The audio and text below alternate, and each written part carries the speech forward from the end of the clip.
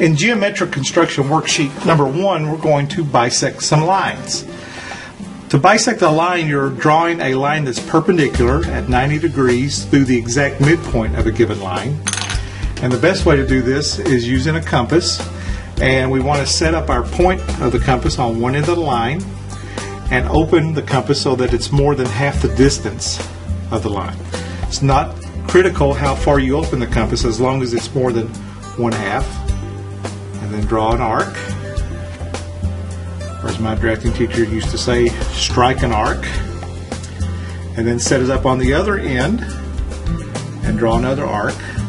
And draw these arcs long enough so that they intersect each other. And then taking a straight edge, like your triangle, line up and connect the two intersection points of those arcs. Of course, I was off a little bit, but that's the idea. A bit better. Let's try that one more time. So I'm setting up on one end of the line I want to bisect, opening the compass more than halfway, drawing an arc, setting up on the other end of the line, drawing another arc, making sure these two arcs intersect.